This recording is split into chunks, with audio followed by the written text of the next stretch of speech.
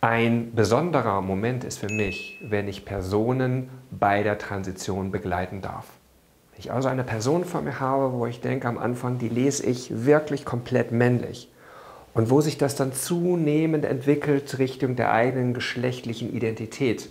Und ich sehe, wie diese Person aufblüht, wie diese Person sich entwickelt, nicht nur was das Optische angeht, sondern sich zunehmend etwas zutraut, ihren sozialen Bereich sozusagen erweitert, auch beruflich auslebt. Das ist ein besonderer Moment für mich.